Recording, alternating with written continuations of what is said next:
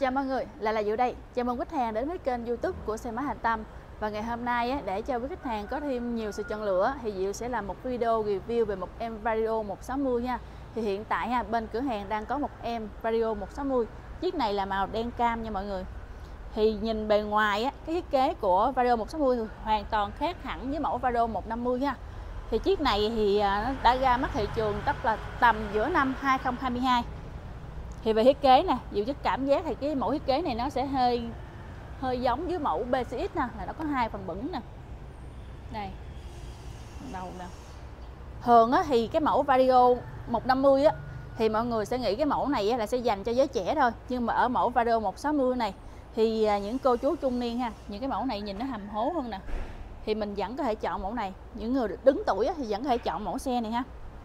Đây là về thiết kế bằng à, của của xe nè có hai phần bửng và tiếp tục đó thì Diệu sẽ nói về cái phần mặt đồng hồ của Vario nha. Đây giờ chị sẽ cho mọi người xem mặt đồng hồ ha. Thì cũng giống như mẫu Vario 150 ha thì mặt đồng hồ nó vẫn giữ nguyên cái thiết kế. Nhưng mà về mẫu Vario 160 đó, nó sẽ có thêm cái phần viền bên ngoài nè. Sẽ làm cho mình nhìn á, thấy cái mặt đồng hồ nó cảm thấy là rộng hơn hầm hố hơn rất là nhiều. Và thêm vào đó là nó sẽ có thêm một cái biểu tượng hắn ABS ở đây nha. Tại vì ở Vario 160 á, là có hắn ABS rồi tiếp tục mình đi xuống một xíu ha là ở mẫu Vado.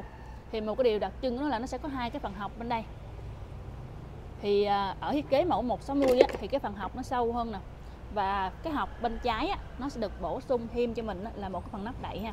Mình mở ra nè. Và cái này á, là nó được bổ sung thêm mình á, là cổng sạc USB ha. Thì mình có thể vừa sạc điện thoại nè để điện thoại đây và đóng lắp lại. Thì cái này nó sẽ an toàn hơn cho các anh chị khi mà mình xài điện thoại để điện thoại đây á thì nó cũng chống được cái ờ, tình trạng bị ờ, bị giật điện thoại này hoặc là gớt điện thoại ra ngoài ha. Tiếp tục ha, giờ sẽ review về cái phần đèn sao của mẫu Vario 160 ha. Thì ờ, cái cảm hứng của mẫu đèn sao Vario 160 á dự thấy là nó sẽ hơi nghiêng về cái mẫu Adeva.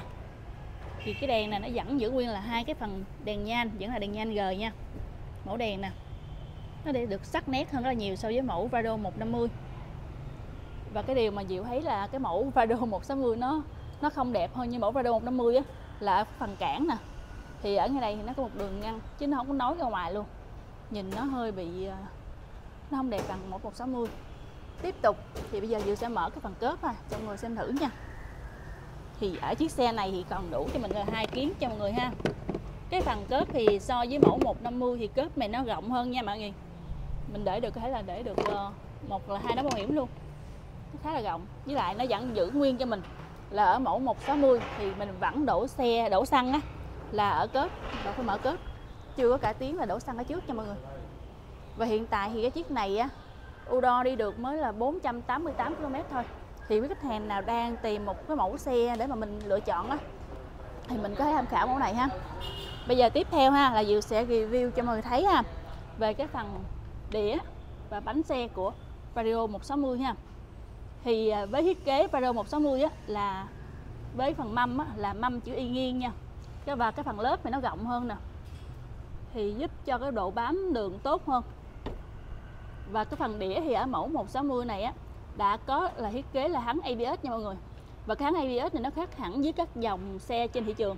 Là của SH thì nó sẽ làm hai phần cái thằng ABS để đọc là riêng còn ở uh, Vario 160 á nó làm chung luôn chung với phần phanh đĩa luôn là chỉ có một đĩa thôi. Và heo đĩa vẫn là con Nixon nha. Đây. Và bây giờ Diệu sẽ đề thử cái phần động cơ của chiếc này cho mọi người nghe thử nha.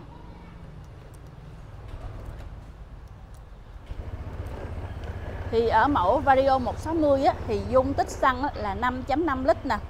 Và dung tích nhớt á, là 0.8 lít nha. Động cơ rất là mạnh nha mọi người. Đây thì à, hiện tại nha mọi người nếu mà đang tìm kiếm cho mình một chiếc em xe á, thì mẫu Vario 160 này á rất là đẹp luôn. Ví dụ bạn thích đó, thì có thể để lại số điện thoại nè hoặc là liên hệ trực tiếp với số điện thoại trên màn hình. Sẽ có gì tư vấn trực tiếp cho mọi người.